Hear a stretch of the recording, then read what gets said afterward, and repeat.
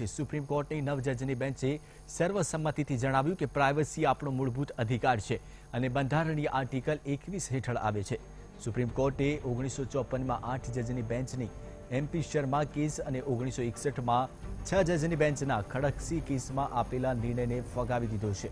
આ બંને નિર્ણયોમાં પ્રવાસીને મૂળભૂત અધિકાર માનવામાં નહોતો આવ્યો. જો કે વર્તમાન ફેંસલામાં સુપ્રીમ કોર્ટે એમ પણ કહ્યું છે કે પ્રાઇવસીનો અધિકાર કેટલાક તર્કપૂર્ણ રોક સાથે જ મૌલિક અધિકાર પણ છે કોર્ટના જણાવ્યા મુજબ દરેક મૂળભૂત અધિકારમાં તર્કપૂર્ણ રોક હોય જ છે જેમનો અધિકાર પણ પૂર્ણ નથી જો કે સુપ્રીમ કોર્ટના ફેંસલાથી સરકારને મોટો ફટકો પડ્યો છે કેન્દ્ર સરકારે કોર્ટમાં કહ્યું હતું કે પ્રાઇવસી મૂળભૂત અધિકાર નથી જેની સીધી અસર આધાર કાર્ડ અને અન્ય સરકારી યોજનાઓના અમલીકરણ પર પર થશે તો લોકોની પ્રાઇવસી સાથે જોડાયેલા ડેટા પર કાયદો બનાવતા સમયે તર્કપૂર્ણ રોક માટે વિચાર કરવો પડશે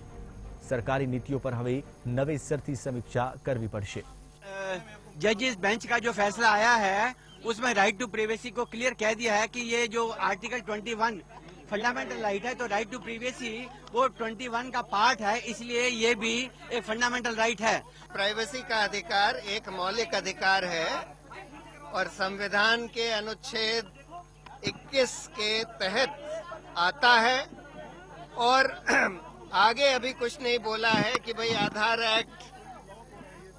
वैध है कि अवैध है, वो तो एक छोटी खंडपीठ के सामने जाएगा। नौ जजों की खंडपीठ ने पुराने जो फैसले थे, जिसमें कहीं कहीं ये लिखा था कि भाई ये राइट टू प्रिवेसी मौलिक अधिकार नहीं है उसको ओवर रूल कर दिया है बोला है कि मौलिक अधिकार है। हर व्यक्ति जो भारतीय सिटीजन है उनको एक एक कॉन्फिडेंस होना चाहिए कि मैं मेरा जो इन्फॉर्मेशन है या मेरा जो डेटा है या मेरा जो घर है या मेरा जो लाइफ है उसके अंदर दखल देना सरकार या प्राइवेट कंपनियों को अ, अ, आसान नहीं होगा। और